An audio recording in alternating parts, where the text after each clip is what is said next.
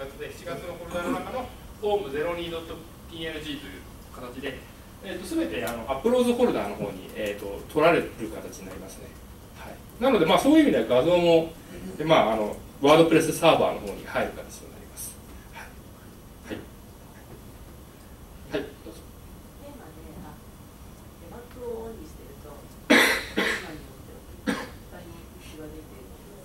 はい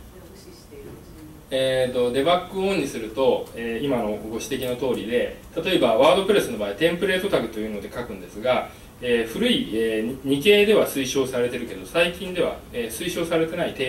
え、関数とかある場合はご指摘の通りでワーニングが出ます。まあ無視しないに越したことないですけど 無視してもワードプレスの場合ですね、まあ、他の CMS はわからないですがえーと、過去の関数を非推奨にすることはあってもそれで、使えなくなるということはワードプレスできて8年ですが今のところあないということであの、まあ、非推奨ではありますけど使えるという形になるでしょ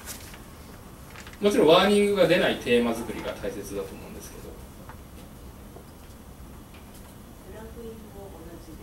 同じです。はい。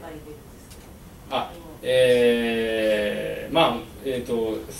それ本当にだから、えっと、PHP の書き方の問題だったりする場合もあるかもしれませんけど、えっと、それで動くことはできますけどまあ普通に PHP のもうワーニングが出るけど無視する場合もあるじゃないですか。それとまあ基本的には同じかなというふうに思います。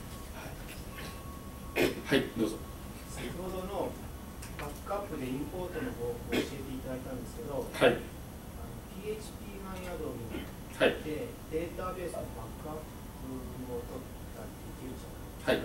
ですか。はい。星野さんはそれどういうふうに使い分けというか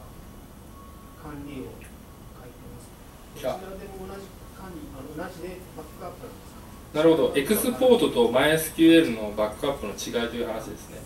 えーと、エクスポートデータというのは、まあ、あのあくまでもその、えー、他に移転するとか、例えばそのコンテンツを、まあえーまあ、例えば、えー、何でしょう、あのまあ、他に移行したい場合とかの場合で、えー、MySQL ダンプというのは、まあ、その MySQL をまるっと取ってるのでバックアップとしては当然 MySQL を全部取った方がいいと思います。で、えっ、ー、とまあちょっと話がそれてしまうかもしれないですけど、あの、MySQL をですね、まあ、普通にバックアップっていうのは、まあ、え、ー、と、まあ、PHP マイアドミンでも当然できますし、まあ、普通に Unix コマンドでダンプを打つとかでもできると思いますし、そういうのがよくわからんって人は、えっ、ー、と、ワードプレスのプラグインでですね、SQL 文が、この後ちょっと紹介させていただくんですけど、SQL 文がですね、管理画面からダウンロードできるようなプラグインもありますので、WPDB バックアップかららというのがあるのでそれで、えー、バックアップを取るといいんじゃないかなと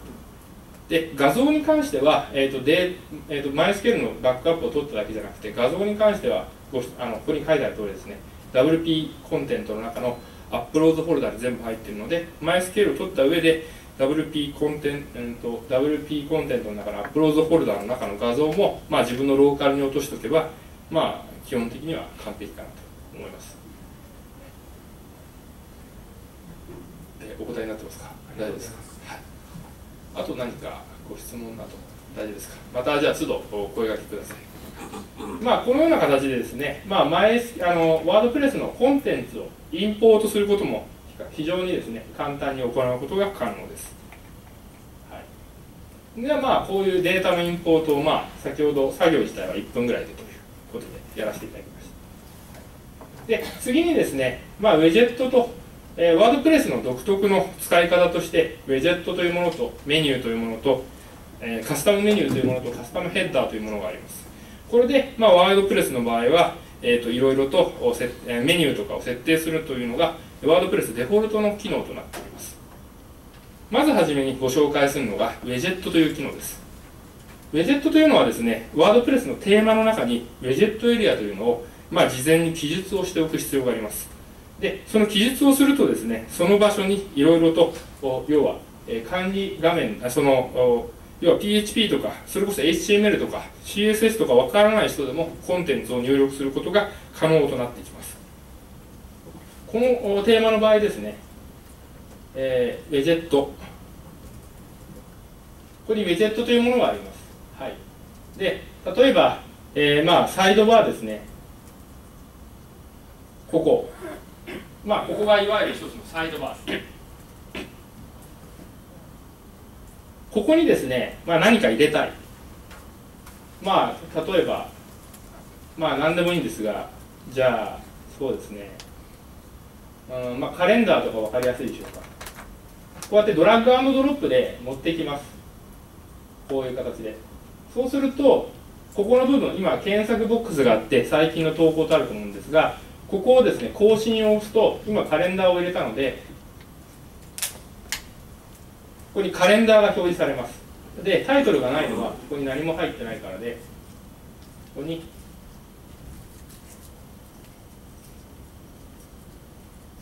まあカレンダーとか入れればまあカレンダーを入れることも当然できますしまあその他にですねまあアーカイブアーカイブを入れるとですね、まあ、今までの記事が出たりとかでこのアーカイブもまあ、ドロップダウン形式にして記事数を出したいとかですねいう場合はこれチェックを入れるとまあこういう形でドロップダウンで選べるようになったりとかですね。そうするとまあ12月に普通に飛んでいきますとかあ2月に飛んでいきますとかそういうようなものもこのウェジェットエリアで自由に作ることができます、ちなみにこのテーマの場合はですねこの横は横のサイドバーとかあとフッターのエリアこの辺のエリアとかをえー、ワードプレスのそのウェジェットという機能で自由に追加編集することができます、えー、テキストコンテンツなどを入れることも可能となっています。なので例えば、えーと、今月の特集とかあと広告バナーを入れるとか例えばですねここにあーって入れて更新と押すとまあここにあーって出ます、はい、なのでこれで例えばカフェの場合は今月のおすすめとかそういうことを書いたりとかすることができるので必ずしもですね、えー、と本来例えば CMS を使わなければこの部分を変えるというのはですねこのページこの部分を全ページ変えるというのは、まあ、それこそ全て例えばドリームビュアとかで作った場合、えーまあえーとまあ、他にやり方あるかもしれませんが、えー、全てこう全置換みたいなことがあ必要になってあ本当にメモ帳とかで作った場合ですね全置換が必要になってくるかと思います、えー、そういうものも必要なく HTML を分からなくともワードプレスの場合は追加更新編集を行うことができます、まあ、これがウェジェットという機能です。でその他にですね、まあ、あのワードプレスのデフォルトの機能としてカスタムヘッダーというものがあります。これは何かと申しますと今この部分。この部分が、えーと、画像になっているかと思います。これはこのテーマのデフォルトのカスタムヘッダーがこの画像になっています。なので例えばトップページの画像をですね変えるだけでもだいぶですね、え見栄えが変わるんじゃないかなというふうに思います。これを自分のがそのファイ、えー、パソコンにある画像から変えることもできますしあらかじめ用意している場合はですね例えばパンにしたいって場合はですねこれチェックをして保存するとですねまあここはパンになると。でこれランダムにしたい。何でも出るようにしたいって場合はですねこれチェックを入れるとこれ更新をするたんびにですねあの出る画像が変わってきます、はい、でトップページを見てもですね当然変わる、で、えーと、自分の持っている画像を入れたい。場合はこのファイルを選択で自分のパソコンの中から、えーと実際に入れたいものを選びます。えーとですね少々お待ちくだ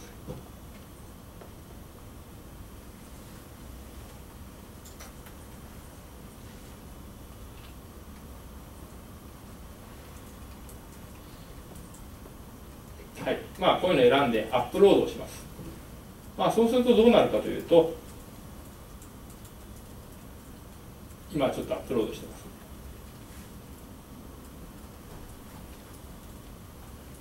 アップロードをし終わるとこういう形で出てきます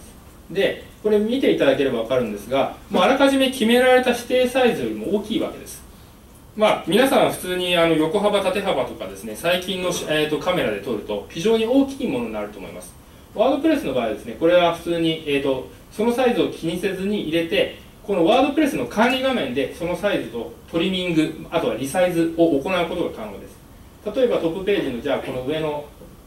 あちょっと気持ち悪くい図になるかもしれないですけどこの肉の部分だけをこう見せたい。これをトップページの画面にしたいと思います。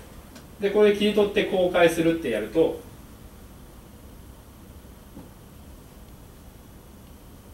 これでなります。で、えー、サイトを表示しましょう。そうするとこういう形でこれがまあワードプレスのその画像のトップページというふうになることができます。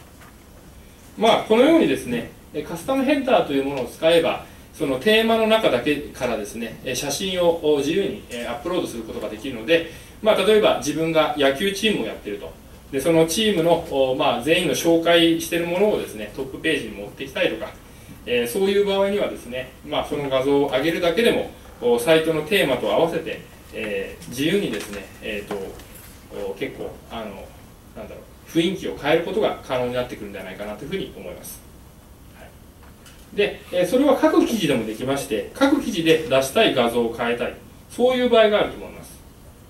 えっ、ー、とちょっとこれ直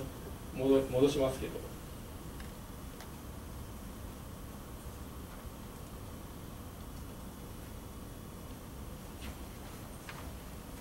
例えばですね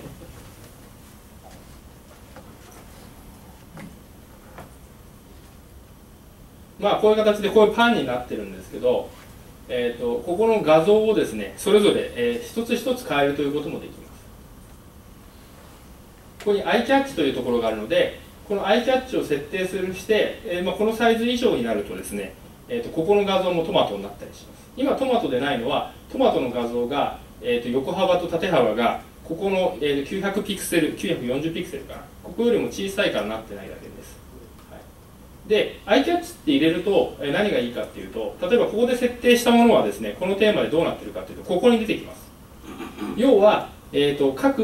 メニュー要はこれインフォメーションですね。これ時系列に紐づいたインフォメーションになってるんですがここの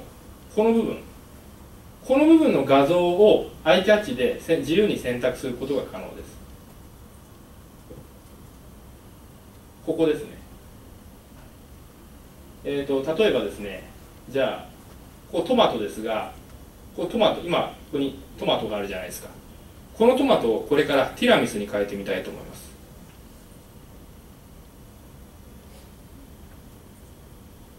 投稿で入って画像のアップロード。でワードプレスはですねえっ、ー、とワードプレス3.3からえーと、HTML5 でドラッグアンドドロップで画像をここに持ってくることができます。こういう形で、今こちらに、まあ、自分の僕のパソコンがあるんですけど、これまあ2台構成になってるんで、こうやってピッて持ってきて、これでアップロードすることが可能です。なので、ファイルをつどつど選択させるとかじゃなくて、まあ、それでも OK なんですけど、ドラッグアンドドロップもできます。で、これを iCatch として選択。もちろんこれをこのまま画像として挿入することもできるわけです。これで更新をしてみましょう。ここがティラミスに変わりまし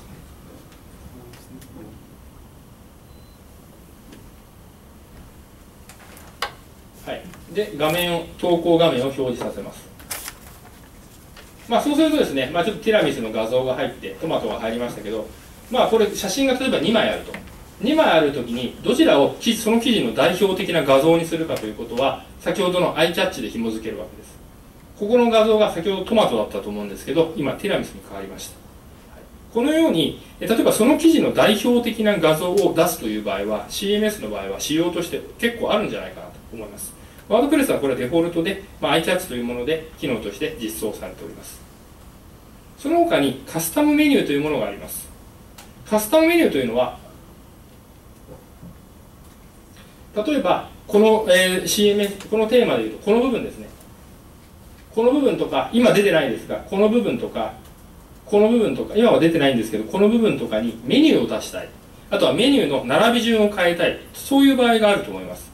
ワードプレスはそういうのはデフォルトで、えー、iChat、えーと、ここにカスタムメニューメニューというのが外観のメニューというところがあるのでここから設定を行います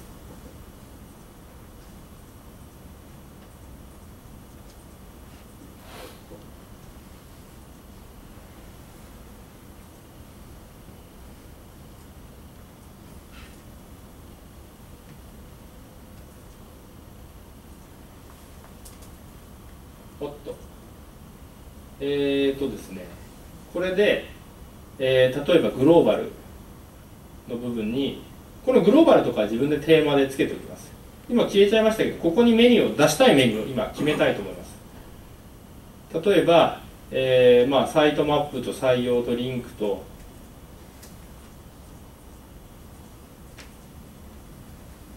そうするとこうやって入ります。これメニュー保存するとここの部分ですね。この部分の並びがこういうふうになってると思います。でこれを例えば、えー、ドラッグ側の今サイトメニューマップが左側になってるかと思うんですけどこれを下に下げる。で保存します。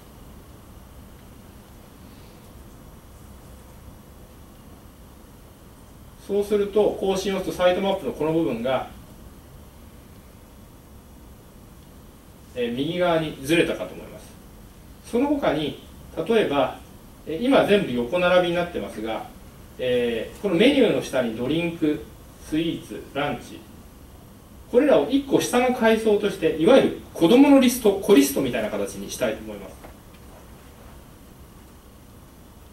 これで押すとこれ更新をするとですねまあこういう形となりまして、えー、先ほどのメニューですね。これらは、えーと、ドラッグしても変わらないんですけどコリコリストを作ったこの部分。この部分はこういう形で要はドロップダウン的な形式になって、えー、ランチとかをクリックすることができます。この子どものリストは孫リストひ孫リストもうどんどん作ることが可能です。例えばこういうふうに、えー、ランチの下にさらにドリンクを下げてみましょう。そうするとこれで更新ボタンを押すとあ今保存したかな。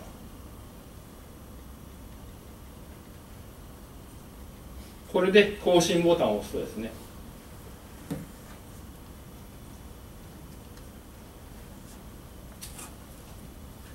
ちょっと水を飲ませてください。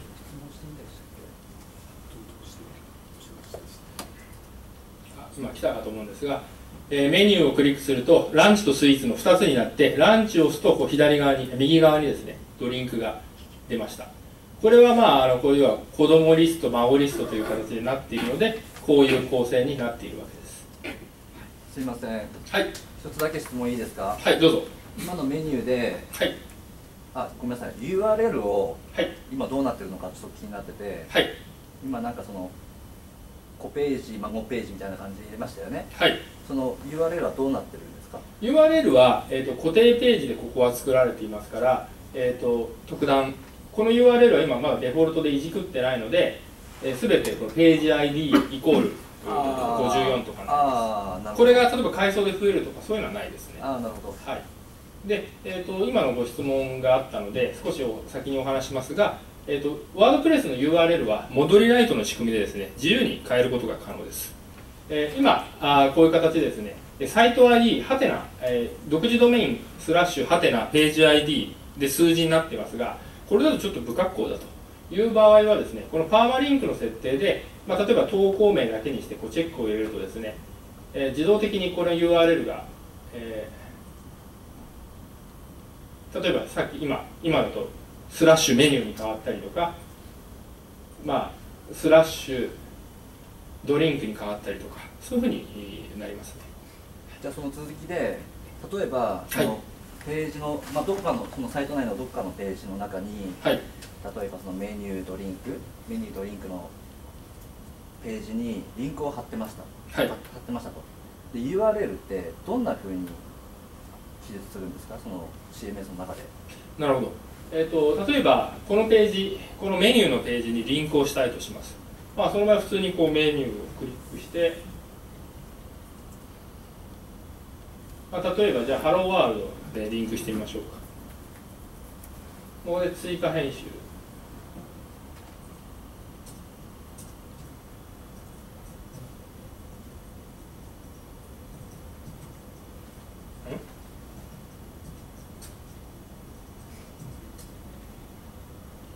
でこちらにリンク。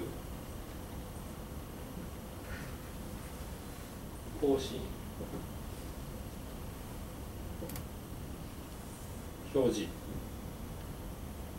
こういう形ですね。続きで。はい。どうぞ。あどうぞえっと、はい、さっきはい。えーと、URL のパスを変えましたよね。はい。じゃあそのさっきの今のページをもう一回変えました。はい。今リンクを貼ったリンクはどうなるんですか？えっ、ー、とワードプレスのデフォルトにあるパーマリンクであれば401リあ301リダイレクトで自動で飛びます。あ自動的に転送されるんですね。転送されます。ただ、うん、パーマリンクの設定をワードプレスのデフォルト以外にした場合は飛びません。はい、だオリジナルで例えば本当に極端な話ですけどパーマリンクの設定で今スラッシュになってますけどこれ例えばドット HTML にしたいとかできるわけですなんか今なんかお客さんとかによってはドット HTML が大好きな人とかも多分いると思うので ドット HTML とかにするとですねこの URL がえっ、ー、とまあ例えばオーガニックブレンドのところやるとあっとまだ変わってないかな。あそうか今変わっちゃったんだ。えっ、ー、とまあ例えばハローワールドだったらハローワールド .html になるわけです。はい。こういうふうにやると飛ばないです。やるとっていうのはそれ初めの設定で、はい、そういう設定をしてしまうとダメだけど、はい、デフォルトの状態だったらば OK ってことです。かそうです。デフォルトのここにあるこのこのいずれかの設定だったら普通に301で飛びます。なるほど。じゃあデフォルトに戻します元のページはもう元のページのパスはもうなんか欠番みたいな感じになったんですね。えー、鉄板まあデータベースにその番号は入ってますけど、うんそうですね。もう使えないっていう。使えない。戻せない。そうかな。も戻一回変えてさ再度もう一回戻したらどうなんですか？それは大丈夫ですね。あそれは大丈夫。はい。データベースに結局パーマリンクという形で保存されてますので。なるほど。はい。はい。わかりました。はい。ありがとうございます。はい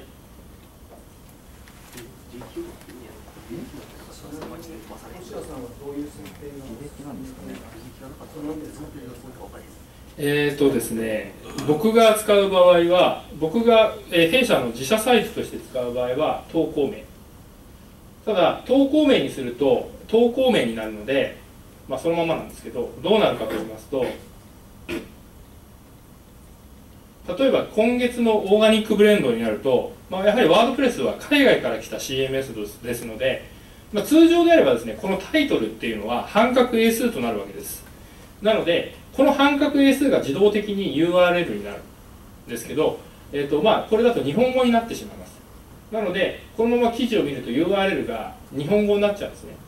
これでもまあいいんですけど例えばこれは普通にあの要は、えーと、Chrome とか Firefox だったら OK ですけど IE とかで見るとすごい長い幾何学的な文字になっちゃうじゃないですか。通常運用上ここを例えばなんか AA とかまあ何でもいいんですけどこうやって直す、えーと、パーマリンクの設定を投稿名にした場合はこういうふうに直す必要があるかと思います。でこういう形でですね AA になるわけですね。でまあこの方が実はその URL から見てその記事の中を、えー、把握できるという点でいいし自社でやってる場合にはそこの運用を忘れるわけがないので、えー、こういうふうにやってます。ただお客さんに納品する場合はつどつどこの仕組みをいちいち変えてくださいっていうのが非常に面倒くさいのでお客さん納品の場合特に指定がなければ私の場合はですけど、まあ、弊社の場合はですが数字にします、はい、要は自動的にアーカイブの数字が入るのでこれをするとこれをするとですね先ほど今パーマリンクの設定いじれたと思うんですね。この部分いじれたと思うんですけど今もうこれいじれない。ここにいじれる編集がなくなったと思います、はい、で URL ももう決め打ちでアーカイブすら、まあ、数字、まあ、その投稿した順番になるんですけどすらになります。こういうふうにするとお客さんが、まあ、URL を特に気にしないしいいのかなと。なるべく考えさせない的な形でやってます、はい、ありがとうはい。あと何かご質問などありました？ら大丈夫でしょうか？では、えー、続きを進めさせていただきたいと思います。で、まあ、このようにですねカスタムメニューというもので、えー、場所そのメニューの並び順だったりするものも全てドラッグドロップで、え、切り替えることが可能となってきます。で、まあ、このような設定をまあ2分でということで、まあ、今みたいなことをまあ2分ぐらいかけてやればいいんじゃないか。いうふうに思います。で、いよいよ一番最後になってきたんですが、あまあ、デモの一番最後になってくるんですけど、あのプラグインをインストールして有効化してみましょう。このプラグインというのはですね、えー、再三、出てきてはいるんですけれども、追加機能、機能追加となります。で、このプラグインはですね、えーとまあ、WP コンテントの中のプラグインズフォルダーというところに入れることで、え実行できます。で、先ほどですね、公式ディレクトリに1万8000上がってると言いましたが、その1万8000のプラグイン名であれば、えーと、管理画面から検索することが可能です。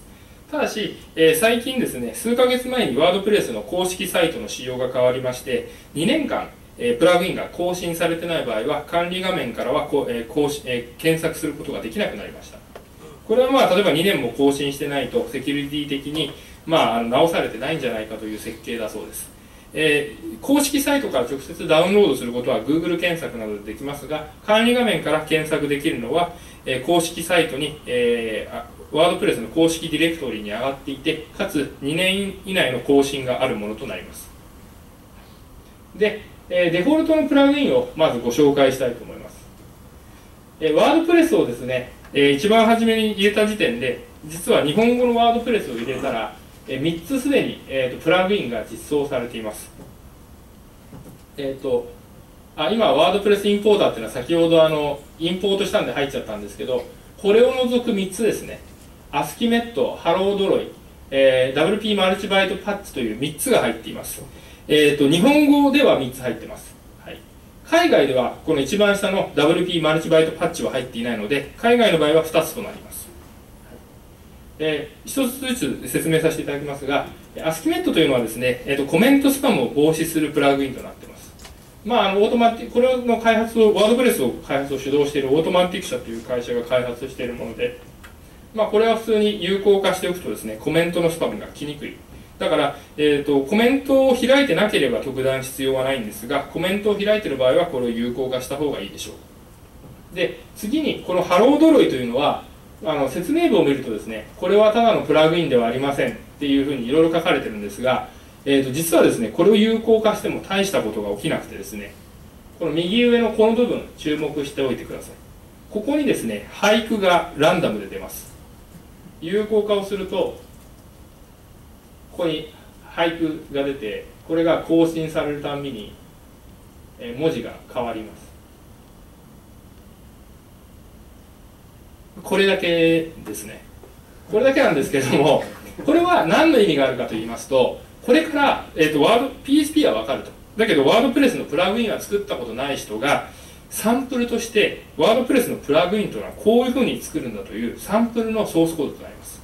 だから、えこれからワードプレスのプラグインを作りたい人はもちろん他のプラグインを見てですね、えどういうふうになってるのかなっていう上で、えプラグインをですねあの開発することもできるんですがこれがまあ一応開発のためのものとなっています、はい、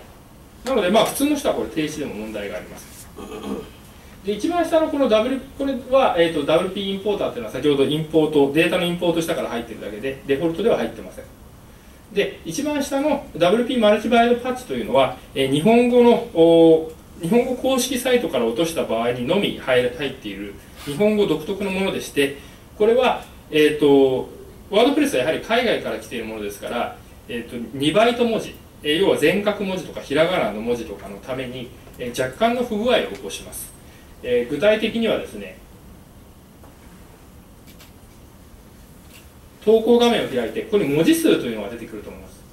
でここに例えば